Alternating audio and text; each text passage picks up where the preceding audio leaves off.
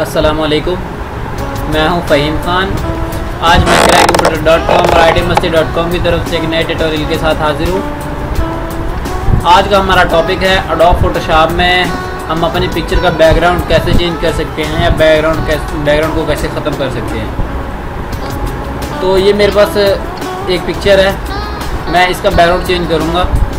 तो मैं ये बैकग्राउंड इसमें पुट करना चाह रहा हूँ।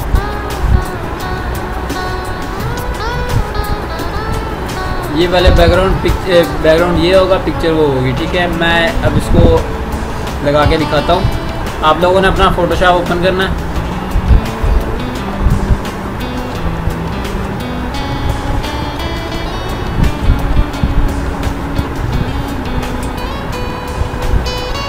फ़ोटोशॉप ओपन करने के बाद आपने करना है कंट्रोल ओ कंट्रोल ओ नहीं कंट्रोल ओ भी कर सकते हैं और यहाँ से फ़ाइल में जाके ओपन भी कर सकते हैं।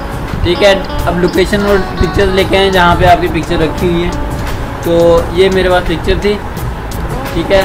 ये मैंने पिक्चर यहाँ से ली है तो मैं वो बैकग्राउंड वाली पिक्चर भी वहाँ से कॉपी करूँगा।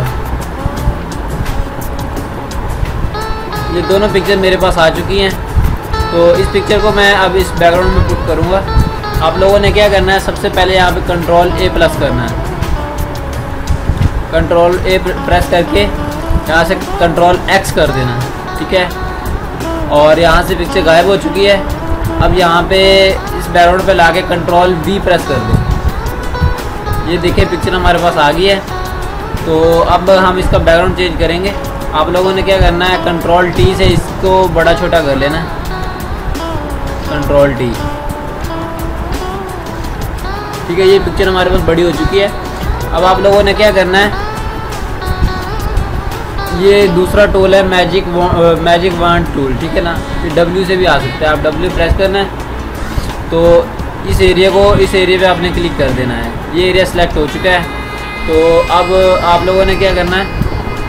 यहाँ पे कंट्रोल एक्स प्रेस कर देना ये देखो कंट्रोल एक्स मैंने प्रेस किया बैकग्राउंड चेंज हो चुका है, ठीक है? अभी भी कुछ यहाँ पे ये बालों में उसके बालों में ये कुछ कलर सा नज़र आ रहा है।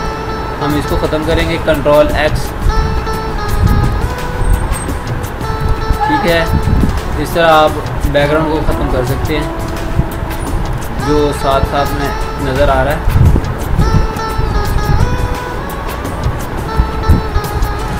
ठीक है, ये पिक्चर थी, हमने यहाँ पे इसका बैकग्राउंड को ख़त्म किया। अब ये साइडों पे ये बना आ रही है लाइंस अब ये रेज़र है। रेज़र टूल आप लोगों ने इससे बड़ा कर लेना है। बड़ा करने के लिए आप लोगों ने क्या करना है? आप यहाँ से भी इसको बड़ा कर सकते हो साइज़ और यहाँ पे माउस का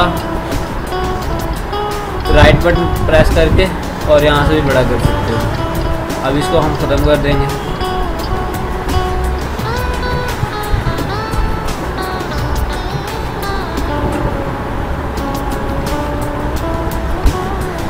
ये देखें।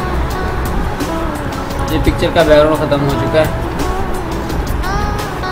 इस तरह आप अपनी पिक्चर का बैकग्राउंड ख़त्म कर सकते हैं। ठीक है, अभी हम इसको सेव करेंगे। ओके और ये देखें पिक्चर का बैकग्राउंड चेंज हो चुका है। तो इस तरह आप अपनी पिक्चर का बैकग्राउंड चेंज कर सकते हैं। ये था आज का हमारा छोटा सा ट्यूटोरियल इसी तरह के और भी अच्छे अच्छे ट्यूटोरियल देखने के लिए हमारी वेबसाइट ज़रूर विज़िट करें क्रैक कंप्यूटर डॉट कॉम और फेसबुक का यू आर एल है Facebook dot com slash crack computer dot com अगर किसी फ्रेंड को समझ नहीं आ रही है या कुछ भी, कुछ, किसी भी किस्म की प्रॉब्लम है तो आप हमें स्काइप पर रबा कर सकते हैं। हमारा स्काइप की आईडी है क्रैक कंप्यूटर डॉट कॉम और ट्विटर भी देख सकते हैं। ये ट्विटर के हमारे नीचे आईडी आ रही है, ठीक है? तो ये है हमारा Facebook page